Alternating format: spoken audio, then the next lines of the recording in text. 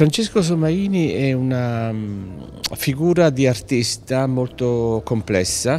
e anche molto particolare rispetto al panorama dire, della critica dell'arte e del panorama della, della scultura o degli scultori sia italiani che europei. Perché? Perché, e questo diciamo, è proprio il tema centrale di questa mostra, e a un certo punto della sua vita, diciamo nel passaggio dagli anni 50 agli anni 60, lui ha avvertito sempre più forte l'esigenza di eh, mettere a fuoco una funzione sociale della scultura,